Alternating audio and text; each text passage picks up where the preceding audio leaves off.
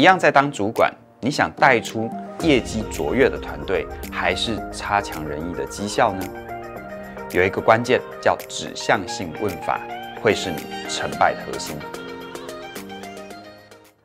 走进我教室的学员里，有很多人在职场上担任中高阶主管，我常常听见他们有个类似的困扰，那就是哦，手底下的员工很被动，而且呢还很消极。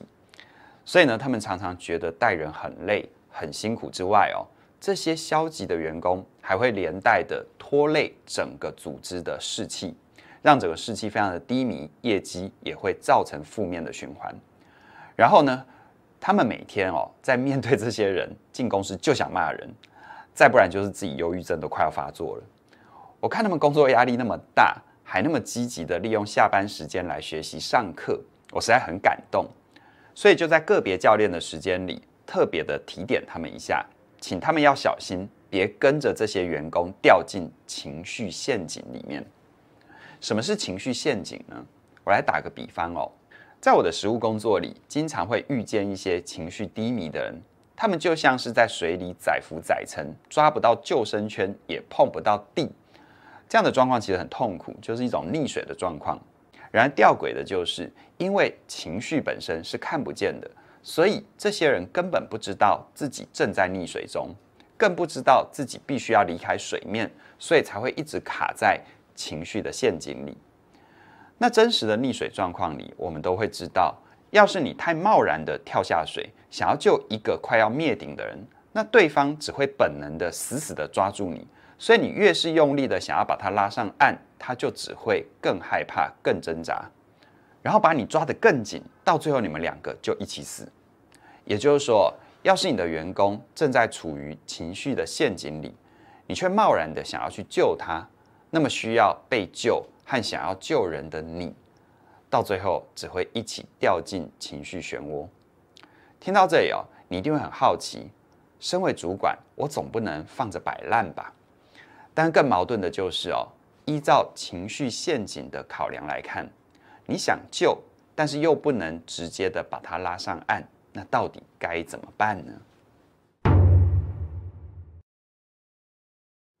今天我会提供给你一个安全又好用的解方，让你不用冒险就能够拉员工一把。而这个解方就是指向问法。指向问法要怎么用呢？我直接举一个例子，你就会明白。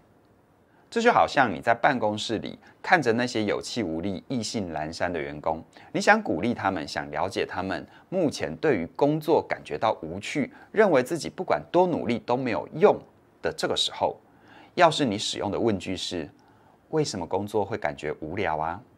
那我可以大胆的预测，几乎所有的员工都只会更执着在。啊，工作本来就无聊，这样的想法里面起不了任何的作用。但要是你能够改个问法，像是问员工这样的想法对你的工作会有什么帮助呢？你信不信员工开始会有不同的反应？因为他们可能会发现那些消极的想法真的没有帮助，而且还会有一部分的人会开始去想要如何让工作变有趣。我再重复一次哦，一般主管的问句会是。为什么工作会觉得无聊，会觉得无趣？但是懂得用指向问法的主管，他会这样问：你这样的想法对于工作有什么帮助呢？你听出指向问句的威力吗？其实听不懂也没有关系，我来跟你做进一步的拆解。指向问法之所以这么好用，这么神奇，那是来自于人类主观认定，它大多数是为了维护自我认同。而自我认同是否符合事实跟正确，对于当事人来说一点都不重要啊。这就像是有人很讨厌吃青椒，那么他到餐厅的时候就会主观的认定自己不喜欢那个味道，而直接跳过那道菜。这时候你要是问他为什么不喜欢吃青椒，这样的问句反而是在提醒对方去回顾自己不喜欢的理由。他越想那个理由就越讨厌呢。但是你用指向问句，你问他。啊，不吃青椒对你有什么帮助？就等于在引导他离开旧有的信念，所以呢，他反而会停下来想想，在自己的主观认定真的是对自己有帮助的吗？而因此才会有改变的可能。更简单的说，人的内在想法通常有一种倾向，就是当你问他理由的时候，他就只会强化他本来就相信或本来就认为的事。但是你如果问他指向的目的，就很有可能松动他原本的想法。如果我们回到一开始的例子，当你面对一群消极的员工，直接问他们为什么工作会无聊，这反而会强化他们本来就觉得无聊，本来就无能为力。但是呢，你去问他们这么想对他们有什么好处，或对他们有什么帮助？这样的问法就有可能帮助你的员工去离开让他溺水的那个水面，去找到自己上岸的力量。所以我常常说，问对问题会比找到答案来得更为重要。这是因为好的问题能够引导人跳出死胡同，甚至于直接展开更积极的行动。这就是指向问法最有趣的作用了。希望今天的分享能够带给你一些不同的启发跟不同的想法。指向问法，再次问你，继续听一天听一点，对你有什么帮助？或许你可以帮助自己回答这个问题。我是凯宇。如果你喜欢我制作的内容，请记得订阅我们的频道，并且把它分享给你身旁的朋友。无论是 YouTube 还是 Podcast，我们都需要你用最具体的行为来支持我们。然而，如果你对于起点文化的商品或课程有兴趣的话，我们近期的实体课程是在四月三十号开课的人际回应力。如同今天谈到的主题，问对问题其实是蛮重要的。你会在人际回应力这一门课学会怎么样去辨识出对方的情绪，并且给予适当的回应。然而，在这回应的过程当中，有时候我们需要回应的是情绪，有时候我们需要的是提出问题。